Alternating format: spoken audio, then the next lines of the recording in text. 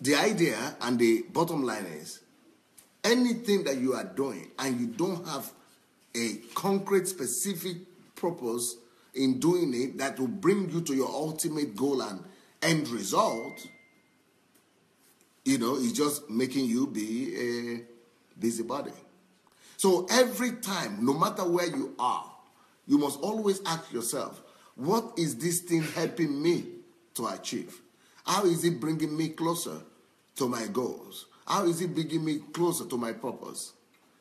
So for you to be blessed in the year in the new year, you need to learn to live for to be fruitful rather than being a busybody. It's no prophet will give you this. No anointing oil will give you this. And no, you know, prophecy, prophetic declaration will give you this. You must work on yourself and you must learn to live a purposeful life. You must learn to live your life in such a way and to structure your daily activities in such a way that they line up with your end result, with your purpose, with your goals in life, rather than just be getting busy on being busy. So, how do you get to become uh, result oriented in the new year? How do you get to become? How do you get your life to become productive in, in the new year? How do you get your life to begin to go and you know go around in the new year? Make sure that you remember we spoke about wealth, and the wealth doesn't.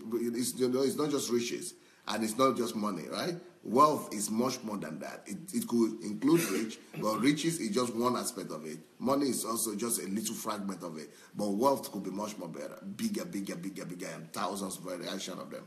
But the core principle wealth, source of wealth in, the, in, in, in life, those are the things you must always make sure you get yourself busy with.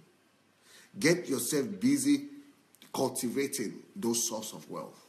Get yourself busy always developing those well if you you will never get anything wrong if you get yourself busy always either converting time you will never get it wrong if you get yourself busy always uh, you know finding opportunities in space and finding your space and developing your land of promise and cultivating your land of promise and you know tilling your ground and keeping it and you know maximizing space you will never get it wrong if you are busy uh, developing yourself, adding value to your own self, to who you are, and you know, uh, yeah, building a shame value in yourself, you know, self-educating yourself, uh, making yourself a better person, you will never get it wrong.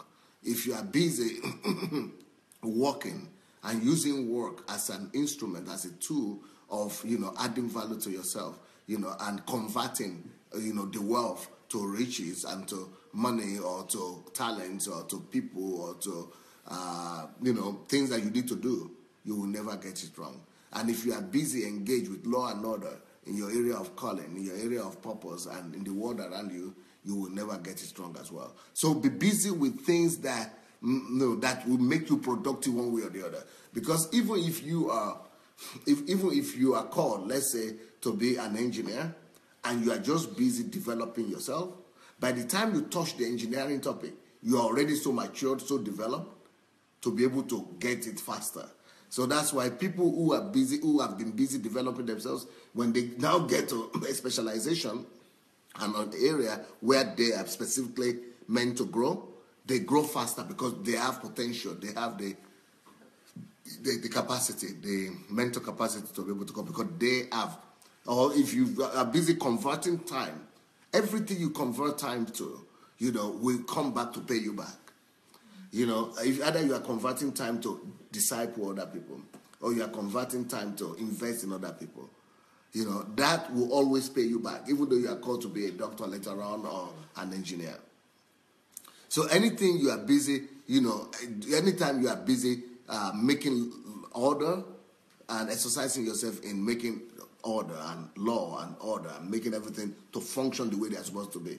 I mean, under law and order, we have administration, we have management, we have, you know, uh, yeah, all these kind of structure system, all these things. So if you learn to do these things, even if you are called to be, a, you know, a space engineer tomorrow, because of that experience, it will always work in your behalf. So learn, determine what you are busy doing. But of course, all those things must be in line to come in line with what the particular purpose and calling that you yourself have. Hello, everybody. DSA here. I would like us to spread this word together. Let the gospel of the kingdom conquer the world. We only need you to help us take five simple steps. What are these steps? One, go ahead and like the video, please, if you have not yet done that. Number two, we need you to subscribe to this channel. Have you yet subscribed? Not yet done it? Go do it now. Number three, you need to press and click on that bell. You see the bell there? That will give you notification of every video that we do. Then the next thing you need to do, write your comments. Let's know what you think, good or bad. And then, of course, you have other platforms like Instagram, like Facebook. Share this video on your other platforms. All right? Let's win the world for Christ.